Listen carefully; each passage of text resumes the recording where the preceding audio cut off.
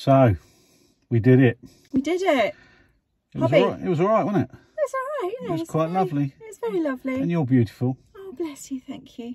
You look lovely too. I have to just tell you this while it's in, in my mind. I'm not Windy Donkey again. No, not Windy Donkey again. Mm. We were signing the register.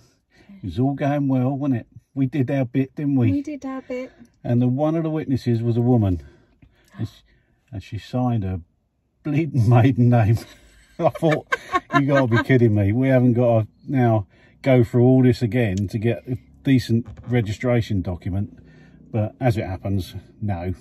We're all right. We're still legally married. Yes, you just put a big line through it. So my marriage certificate now has is, has got a mistake on Yeah, it. it's got a little spoiler on it. There you go. Never mind. Everything else went to plan. So Everything went to plan beautifully. it did. I'm now going to drive to take the documents to the um, registration office. And then we're going to go to St Andrews. Yeah. Wow, we're going to the home of golf. So we'll check in again soon. And um, thanks to everyone that joined us in at the ceremony, watching the webcam. Sorry if it was a bit quiet, but um, I just think that's the way it is.